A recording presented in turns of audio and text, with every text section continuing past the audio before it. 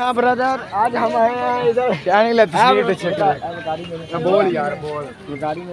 جی آج ہم آئے ہیں بیڈ وال کے پاس کاندو کھارا۔ کاندو کھارا۔ ہاں جی نام بڑا اوکھا سا ہے لیکن میں نے سیکھ لیا اب۔ تو ہم کاندو کھارا میں آئے ہیں یہ یہ ہم دو دو ٹوٹی پاجی سکوٹروں پر آئے ہیں یہ دیکھیں۔ یہ بھی اور یہ ہماری دو اسکوٹریں ہیں۔ دیکھیے۔ یہ ہمارے پیچھے نہر ہے جو آپ نے سنا ہوگا جوڑی نہریں جوڑی نہریں یہ جو ایک نہ- نہر ہے اور ایک اس کی دوسری طرف ہے اس طرف یہاں بہت بھائی یہ دیکھیں نہانے آئے ہیں۔ تو ہمیں بھی پتہ چلا تھا آج ٹرو کا دن ہے۔ تو ہم نے کہا ہم بھی نہائیں۔